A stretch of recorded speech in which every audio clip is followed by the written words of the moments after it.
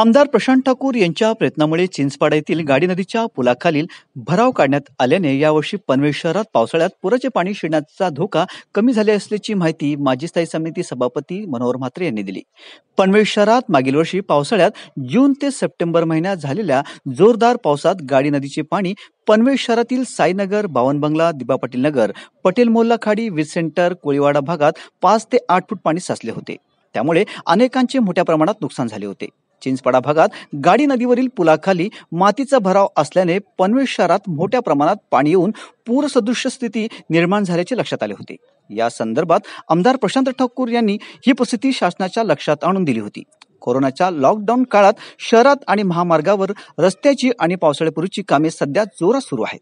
आमदारांनी सदर पुलाचे ठेकेदार अशोका बिल्डकॉनचे एम आर पाटील यांना याबाबत सांगून तो भराव काढायला सांगितला. असता त्यांनी गाडी नदीच्या पुलाखालील भराव नगरसेवक मनोहर म्हात्रे यांच्या मार्गदर्शनाखाली काढण्यास सुरुवात केली आहे.